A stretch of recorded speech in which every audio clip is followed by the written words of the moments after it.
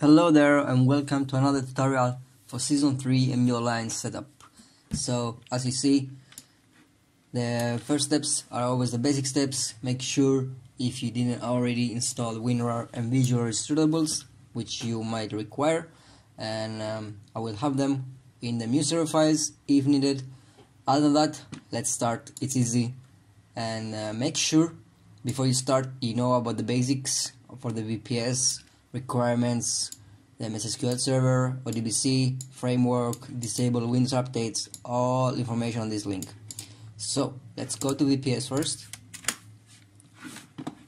So I put the files here, the client and the new server, and yeah, we're just gonna start.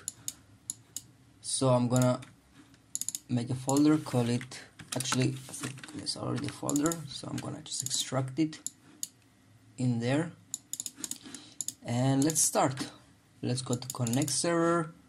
Where's our IP this is our IP and server list.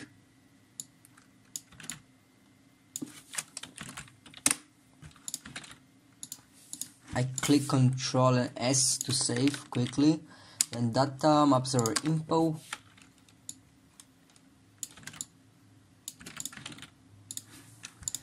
and I guess this is it. Um, where's the log oh, where is it? Custom no this is it. And then we'll go to data server probably something here. No. It connects by ODBC perfect. Yeah I meant about these two files. That you need always but yeah. Let's go now with the database. I will quickly do it. If you don't go to the basic video tutorials and learn how to restore a database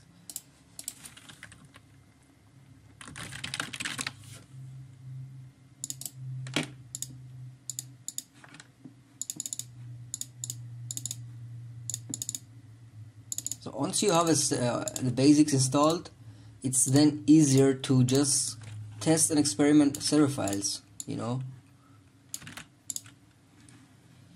So database is created successfully. Now I'm gonna check if there is an account in the game, in the account in the database. Nope. Alright. What we're gonna do with accounting, we're gonna use um, from let's say MuServer here I'm gonna use this one. Don't worry it will be on the files for you as well. And you're gonna have this Mu Maker which we're gonna use to create account okay? So alright so we edited it. Here is the game server. Um, probably nothing much has to be changed here. Default IPs are all there same applies to everything there. Okay. Join server. Alright and the Mu Maker we can set it up afterwards. So this is the information of the files. So yeah I think we restored the database. Now we're ready to run the server. First you run connect server then you run data server then you run join server then game server and game server castle. And allow access before you do any, everything actually uh, go to your Windows firewall settings inbound and click the first one and hold control actually hold shift and delete everything related to your line so we can recreate the rules for the firewall and there is no con conclusions problems. So run allow access through the firewall same applies here. Don't make the mistake and run this one, I'm gonna get an error. Run first join server. So yeah, I guess this this was really simple. So thank thank to everybody who does this job easily with their files. So alright, now we have the server running. Now I'm going to go to my computer and we're going to set up the client so the client is this I extracted already in my computer and you open main info and we change this IP here we make it RIP uh, if you say one then uh, the launcher name should be um, mm, MUX I guess or yeah because there is no other here.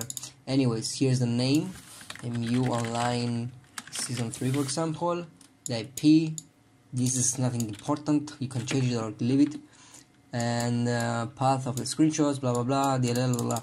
And then save it. And now you can double click this one. And this one will generate license here.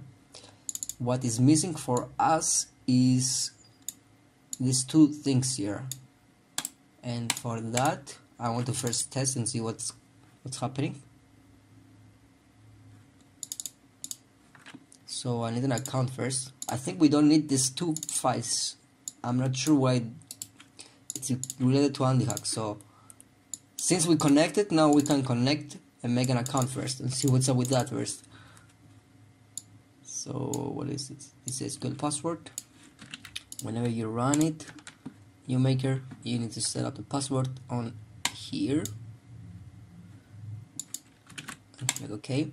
And remember the Mu Maker the version is the latest almost so don't add new uh, new items because they will, they will not appear or you're gonna have some bugs. So this is account for test tester tester tester as well. And let's see. I'm excited.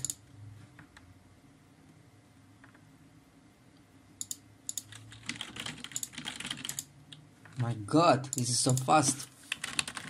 MuADMINS oh you can create you can create other you can create everything from zero, from one level. That's amazing as well. So F F4 does this thing. Very nice as well. So the server is running everything is functional and this is it. If you want to change some configs and settings and names and everything it's all in this folder game server data.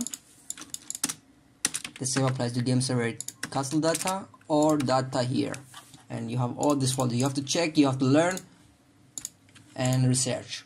Thank you very much. And this is it